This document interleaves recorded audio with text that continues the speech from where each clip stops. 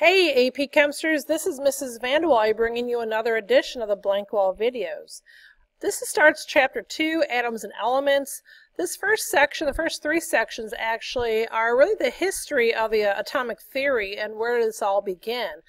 Uh, we'd like to let you know that this is not covered on the AP exam. It's just a background of how we know what we know today. So let's begin. The early laws. The law of conservation of mass was actually introduced by Antoine Lavoisier. Uh, Lavoisier was a very interesting character in history. Uh, he is considered actually the, the father of modern chemistry. What happened is that he was of the French aristocracy at, at the wrong time, and he was actually beheaded in 17 uh, i think it was like 94 uh, with a lot of the other french aristocracy and uh, of all the good things that he had done with chemistry and with science that very quickly they beheaded him and, and there went all that, that knowledge and, and the, the science. So kind of a sad story there uh, but before he was uh, guillotined, before he was beheaded, he did come up with a law of conservation of mass. And it says, in a chemical reaction, is, mass is neither created nor destroyed. So hopefully you got this idea of an equation. The mass before is equal to the mass after. So I know we have not identified reactants and products yet, but you might remember that from your first year of chemistry, where you can say the mass of the reactants will always equal the mass of the products. So let's look at problem number one. It says when a small log completely burns, the mass of the ash is much less than the mass of the log initially. What happened to the matter that composed the log? Why don't you pause this, think about it, write down an answer, and come back.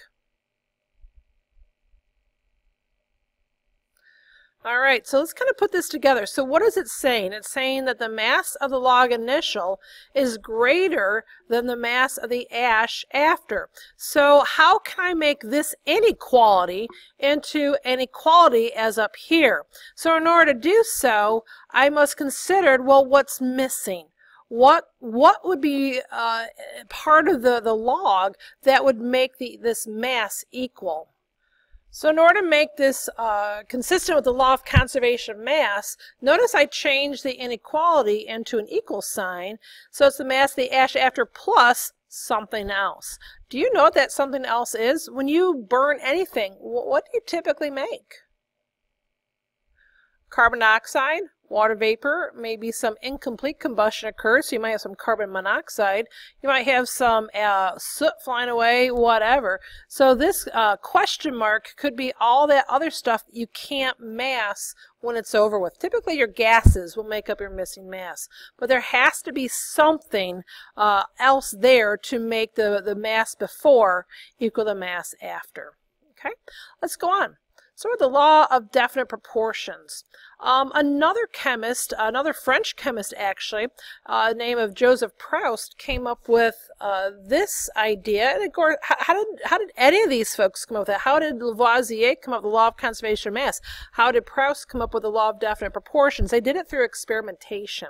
So Proust was going through and he said that a, a, given compound always contains exactly the same proportions of elements by mass. So let's just take water for example.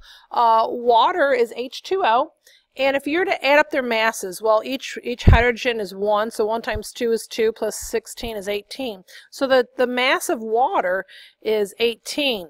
If you take the proportion of, of oxygen, 16 over 18, that's 8 ninths. So if you have any sample of water, big sample, small sample, any sample, it will always be 8 ninths oxygen. That is your proportion of oxygen. Any sample of water will always have 1 ninth of hydrogen, or 2 over 18. So if you had a small sample of water, you weigh it out, we can say that 1 out of 9 grams will always be made up of hydrogen. 8 out of every 9 grams will be made up of oxygen. That would be the law of definite proportion. Think what a proportion is. Um, so let's look at problem number 2. When a gaseous mixture of hydrogen gas and gaseous chlorine react, a product forms that has the same properties regardless of the relative amounts of hydrogen and chlorine used. How is this result interpreted in terms of the law of definite proportions? Pause this, think about it, jot something down, and we'll come right back. All right, so what did you come up with? So your product, which is going to be HCl, I don't know if you realize that or not. So what does this mean? That no matter what you are making, you have a certain uh, proportion of hydrogen to the exact proportion of chlorine. So if you have a small sample, a large sample, you'll always have that same proportion. If it has the same proportion, then it must be the same uh, compound if you have a lot of it or a little of it. Uh, so no matter how much of the hydrogen gas or chlorine gas you started with, you will always have the exact product with the exact same proportions. All right, so the next example really shows you this. So let's check this out. So it says two samples of carbon dioxide are decomposed to their constituent elements. One sample produces 25.6 grams of oxygen and the other one is 9.60 grams of carbon. The other produces 21.6 grams of oxygen and 8.10 grams of carbon. Show these results are consistent with the law of different proportion. I know I said that quickly. Let's kind of go back. What was this again? A given compound always contains, I'm up here, exactly the same proportions of element by mass. So think about what you're doing. We have to set up a proportion, a proportion by mass of the elements. So let's check this out. Uh, notice that in sample number one, they gave us 25.6 grams of oxygen and 9.6 grams of carbon. There's my proportion. And if you have a calculator handy, which I hope you do, what does that equal? Did you get 2.67? All right, so check this out, the next one. So you have another sample of carbon dioxide, which is a little smaller sample, and let's check out its masses. Here's my proportion of the elements by mass. Go back and look at that definition. You have 21.6 grams of oxygen and 8.10 grams of carbon. So if it's proportion, you can certainly divide that, and what do you get? Get out your calculators. What do you get?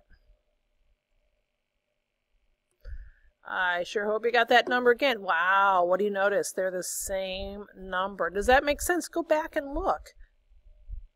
A given compound always contains exactly the same proportions. Check that out of elements by mass. So as long as we have carbon dioxide, any carbon dioxide, we will always have this proportion by mass. Okay. Now look at number three, the law of multiple proportions. Uh, this one is actually credited with John Dalton. He was using the research of Lavoisier and of Proust, and very shortly after came up with the law of multiple proportions. This is all about the same time in history. These were going very, very quickly. Once that Lavoisier was starting to establish uh, this law of conservation of mass uh, and the techniques in order to prove that, uh, all these laws came out very, very quickly. So here's Dalton's contribution. He said when two elements combine to form a series of compounds, the ratios of the mass of the second element that combine with one gram of the first can always be reduced to small whole numbers. Now, what the heck does that mean? Uh, you need to have compounds that, let's say, H2O and H2O2. They both contain hydrogen and oxygen, but in uh, multiple proportions. In water, it's a 2 to 1 proportion, and hydrogen peroxide, it's a 1 to 1 proportion, or, you know, 2 to 2 anyway. So when two elements combine to form a series of compounds, that was my example of water and hydrogen peroxide. It says the ratios of the mass of the second that combined with one gram of the first can always be reduced to small whole numbers. So let's see how problem number four helps. So go back and look here. The ratios of the masses of the second element that combine with one gram. So this example in problem number four is talking about nitrogen and oxygen. We have nitrogen dioxide and dinitrogen monoxide. So here we have the same two elements making different compounds. So it says that we have nitrogen dioxide contains 2.28 grams of oxygen for every 1 gram of nitrogen. Notice we needed that 1 gram. While dinitrogen monoxide contains 0.570 grams of oxygen for every 1 gram of nitrogen. There we go back to the definition. Show these results are consistent with the law of multiple proportions. So if I set the mass of oxygen. We already have one gram of nitrogen in encase, so I need to know about the grams of oxygen. So if I take the ratio, well, what's a ratio? It's like a fraction, isn't it? So if I were to do this, so here's the mass of the oxygen of compound 1, and here is the mass of oxygen in compound, compound 2. Uh, reduce that. What do you get? You still have your calculator, I hope. What do you get? Yeah, 4. Not about four, not around four, but exactly four. What does that mean? It's a whole number. Okay, so that's your law of multiple proportion. Let's go on to the next page. All right, so here's Dalton again, and once again, yes, look at that. He's thinking once again. And um, he was putting together what he understood about these things called atoms uh, at this point. This is like early 1800s. I mean, I think like 1803 or something. I could be off a little bit by then, but early 1800s. So what did he come up with? He said each element is composed of extremely small particles called atoms. Do you remember how I defined atoms in the very first blank wall? I meant indivisible, undivided. So he is saying this circle is an atom of oxygen, this circle is an element nitrogen. So that's the first one. Number two, the atoms of a given element are identical, but the atoms of one element are different than the other, uh, the atoms of the other element. So all these three oxygen atoms are identical. All these three nitrogen atoms are identical, but these are not identical to each other. The reds are different than the blues says atoms of one element cannot be changed into atoms of a different element by chemical reactions. Atoms are neither created nor destroyed. So you cannot make oxygen uh, become nitrogen in a chemical reaction. They had to add that phrase uh, in, after the 19, early 1900s when they started working with um, radioactivity and whatnot, where you actually they do become different atoms. But that's a whole other story. Uh, finally, compounds are formed when atoms of more than one element combine. A given compound always has the same relative number and kind. So here, this is a chemical reaction. Uh, they're formed when these uh, elements are combined. Uh, you always have the same relative. So notice we have one uh, nitrogen here, one nitrogen there, one oxygen, one oxygen. So let's check this out. We have two modifications. Um, well, the first one, it says extremely small particles called atoms. Well, remember what atom meant indivisible. In the late 1800s, when J.J. Uh, Thomson came around, he discovered the electrons. Uh, later on, um, Rutherford discovered the proton, and um, so the subatomic particles were then discovered. Isotopes were also discovered. We don't haven't talked about that yet. You might remember iso, the prefix iso means the same as. So what's an isotope? It's the same element but different um, number of neutrons in a sense or different atomic masses. So they have the same number of protons, different number of neutrons, so therefore all these three atoms of oxygen may not be the same. So then we have Avogadro's hypothesis. Let's scroll up. Emil Avogadro, you might have recognized that word Avogadro. That's a special number. And actually, Avogadro did not come up with this number, but that 6.02 times 10 to the 23rd was named in honor of Avogadro. So what was his hypothesis? At the same temperature and pressure, equal volumes of different gases all contain the same number of particles. So I'm actually going to put this up here. This is Avogadro's hypothesis. What does that mean? N is the number of particles is proportional to its volume. So they're saying if the, the number of particles is 5 and the volume is 10, if I had 10 particles, the volume is 20. It's a proportion. That's what that's tell, telling you. Oops. Um, all right, that's better. So when a volume of hydrogen reacts with equal volume of chlorine, that's that's important. When an equal volume of hydrogen reacts with the equal volume of chlorine, what does that mean according to Avogadro? Well, if it has equal volume, it has equal number of particles. So if you have the same number of H2s reacting with the same number of chlorines at the same temperature, what volume of product having the formula HCl is formed? Well, I know we haven't really talked about chemical formulas yet, but you can at least kind of think about that. So if these are the same number of particles, and this is what you get, look at that coefficient. So if I have equal if I have one unit of volume here and one unit of volume here, I get two units of volume of HCl. So what volume of product uh, will you make? And so the answer actually is twice the volume of H2. So whatever you started with, if you have equal volumes of uh, hydrogen gas and chlorine gas, you have equal particles of hydrogen gas and chlorine gas, so you're going to have, uh, when you're done, twice the particles of HCl, so you have twice the volume uh, of, of H2. Then it says draw a particle diagram for this. And so, well, okay, here is my H2. Here is my chlorine. And notice what you get. You get two of those. So there's my particle diagram. All right, let's kind of go on to 2.4 so I don't take up too much more of your time. Uh, the discovery electron, like I told you uh, earlier that J.J. Thomson actually was the first one to dispel that Greek definition of the atom, which meant uh, you know, undivided or indivisible. He did divide the atom into subatomic particle of electrons. So what did he do? What's really kind of cool is um, he took this cathode ray tube right here actually didn't look quite like this. This is more of a modern cathode ray tube. Uh, he had a different one which had a huge bulb at one end and it narrowed it down to the other end and it's actually called a Crookes tube uh, after the, the guy who invented it. And so um, he applied a voltage to his Crookes tube and he was amazed at what happened. I don't know if you can really see in your picture, but there is a line right here and this greenish glow uh, was produced. This, this ray was produced at the negative electrode. And he then thought, wow, this is really cool. I want to experiment with this. And so he, one of the things he tried amongst many, many things was he put a, a magnet to it, um, or excuse me, electric field, which is like a magnet. So if he put a, a negative um, pole and he put this electric field in it, this ray was deflected away from um, this magnetic field.